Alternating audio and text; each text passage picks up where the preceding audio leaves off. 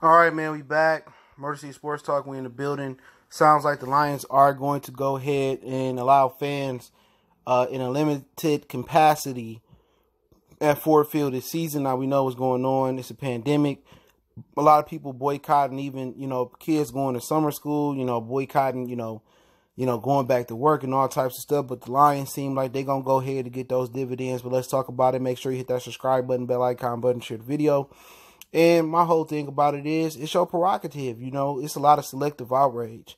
You know, a lot of these people are taking their kids and taking them to the beach and taking them to public pools and, t- and traveling on planes where you all breathing the same air. There's been known that the mask is only 85, maybe 85% effective, and that's just somebody's opinion, all right, doctor wise. So it's a lot of people with selective outrage.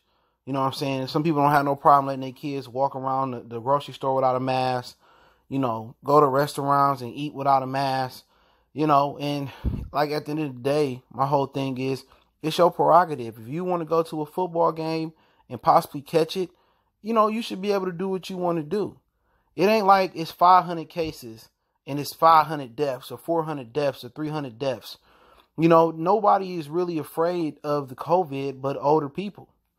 Now, am I saying it's correct for the Lions organization to allow people in, the, in, in, in there knowing that they can get sick and, and putting money over, you know, over ethics? No. You know, in a perfect world, if people were legit scared of going outside and, and, go, and their kids going to school, you know, if they was legitimate scare and it was a legitimate threat to them, then I would be like, man, it's some bull jive.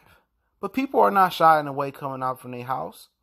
They letting their kids go on jungle gyms and go to you know amusement parks and they gonna let their kids go to school. So my whole thing about it is, you know, Gretchen Whitmer continues to be a hypocrite.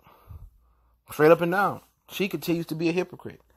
You know, she runs up north and she go and do her thing up north and enjoy the amenities up here, but then tell us we got to stay locked down. If these people don't care about their health in the Metro Detroit area and all the other areas, will let them go do what they want to do. It ain't stopping y'all from you know, letting people in Flint still have poison water. But, you know, in the stadium, you'll be required, required to have a mask on.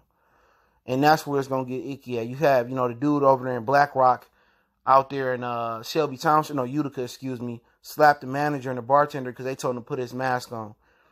You know, so you really run the risk of people not wanting to put their mask on and yell and scream and, and getting mad and they already drunk. That's kind of my concern right there. The liquor and then combined with people who don't want to wear a mask. You know, I work security at Ford Field, and that's gonna that's gonna be the tough part.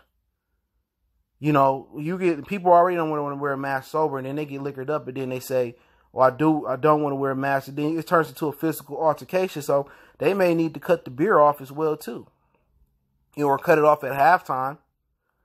So my whole thing about it is, I can't be outraged by corporate America wanting to make money and people still going out like it's a regular day, not wanting to wear masks, not taking care of themselves where they can protect their family. I just can't get mad at corporate America no more because, you know, America ain't scared of COVID. No matter how many cases we got of people that's died, that's deceased, that's sick, that almost died and came back, people still not taking it serious. People still not washing their hands, still not using hand sanitizer, still touching their face, not using their mask. It's your prerogative. If you want to go out there and die, die. Because if you in that area arena, you get any, anything, that's on you. And Alliance is doing what corporate America has always done. No matter a pandemic or recession, they still gonna make money. They still gonna make it. So you gotta have your mask on. You want to enjoy a football game, so be it. I enjoy because I've been to so many football games. Only thing I haven't done is go to a Michigan football game. When I hopefully in my lifetime I able to knock that off my bucket list. I've been to a Super Bowl, the whole nine hopefully hopefully this thing is over with and hopefully we're able to move on and hopefully I'm able to make it to a Michigan game.